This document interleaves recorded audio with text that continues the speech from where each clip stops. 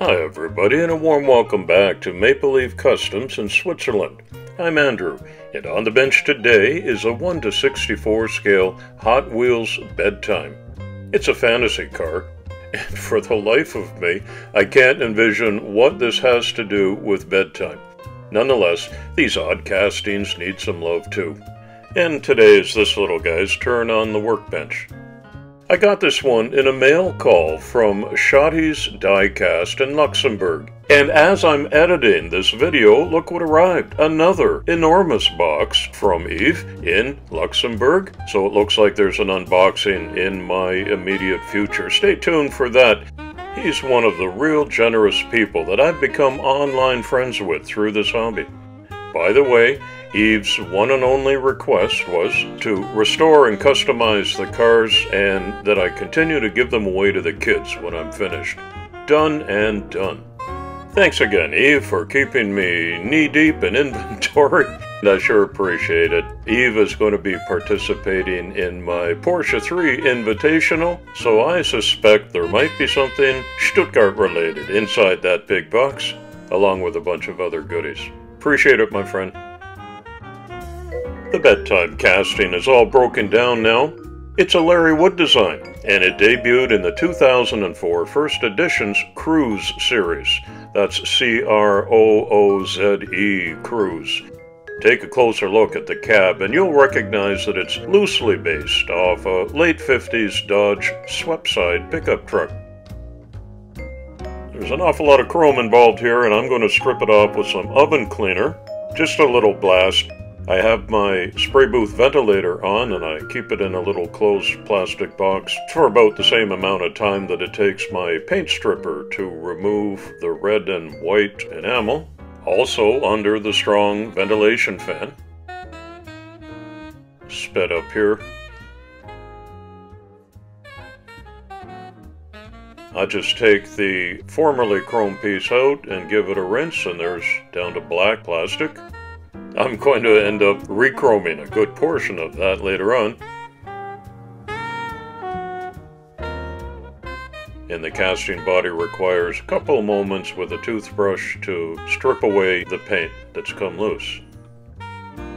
Well, this one's about 20 years old now and obviously had been well played with, so a little bit of careful attention with a couple of Dremel tool attachments. I start with the wire brush smooths it out, takes away any of the residual paint that the paint stripper didn't get.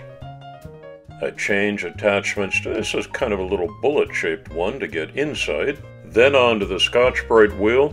It really does make a difference in the finish.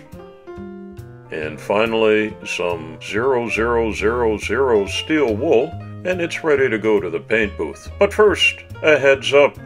For this month's Four Horsemen project, I'm doing a buddy build with Tom from Calibre 50 Customs.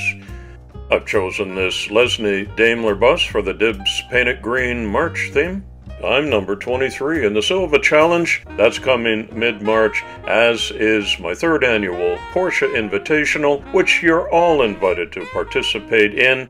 I'll post an update video in the next couple of days to bring you up to speed.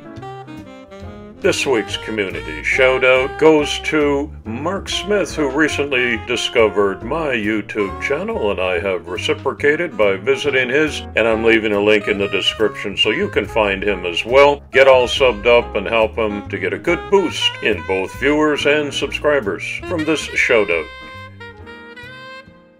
Both the degreasing and the primer stages are prerequisite steps before applying a nice paint job, and once again today, I found the paint that I thought would be most appropriate for this job was in a spray can. And so what I do is decant it into a little plastic cup, as you see here, and I let that degas for a while, and then I can apply it with my airbrush and get a little lighter touch, a little more control, which I prefer.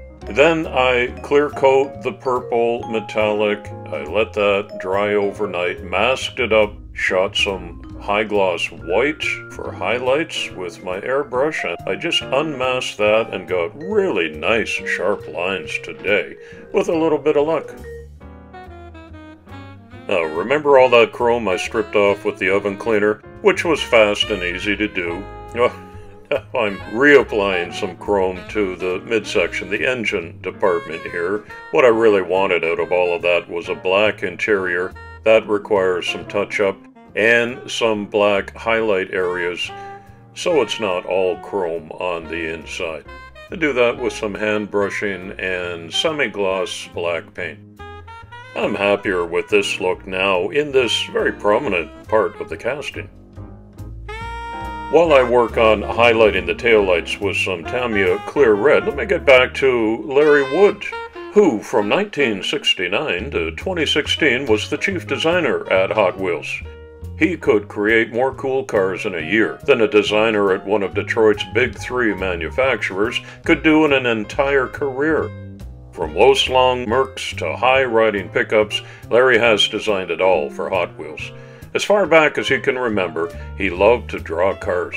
So when it came time to go to school, Larry enrolled at Art Center College and naturally he majored in automotive design. After graduation, he was drafted by the Ford Motor Company and moved to the automobile big leagues in Detroit.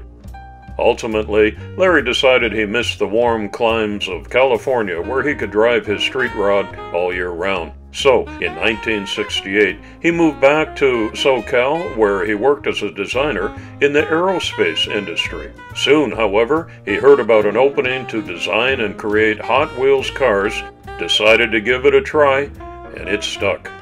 Larry has created some of the most well known Hot Wheels cars, including the 49 Merc, Ramblin' Wrecker, which originally featured his home phone number on the rear quarter panel of the truck, the Bone Shaker, Purple Passion, and this lesser known Bedtime that I'm working on today. When asked to pick his favorite Hot Wheels design, Larry's answer is always, My next is my best. Thanks, Larry, for all the creations and the years of enjoyment you've given to us as Hot Wheels enthusiasts, collectors, and now hobby customizers.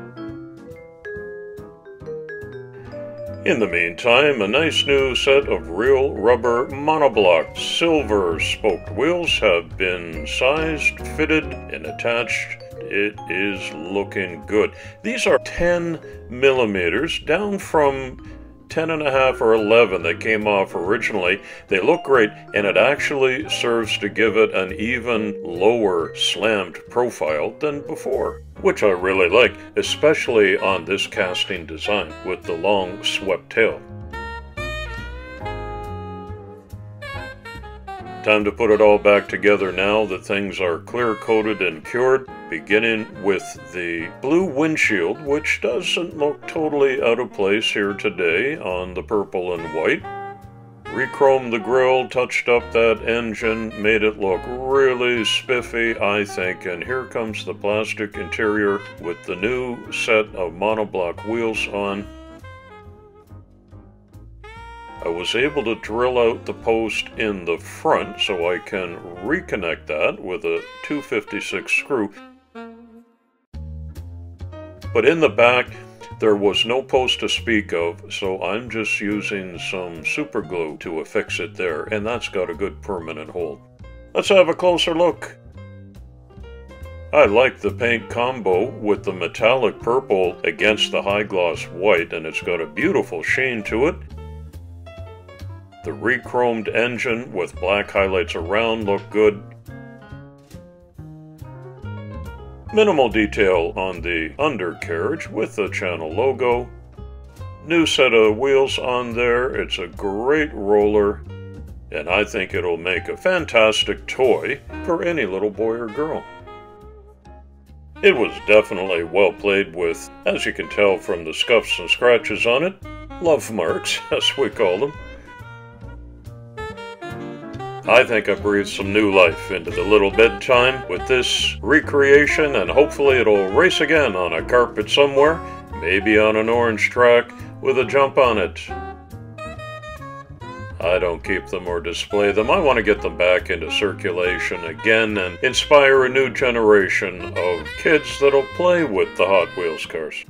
So, in accordance with Eve's wishes, which are perfectly aligned with the ethos of my YouTube channel, this gets packed carefully in a blister and off it goes to my local Goodwill store, where I hope it'll bring a smile to the face of a little boy or girl. Thanks for visiting my channel today. Thank you, Eve, for the bedtime casting. Drive carefully, everybody. It's coffee time.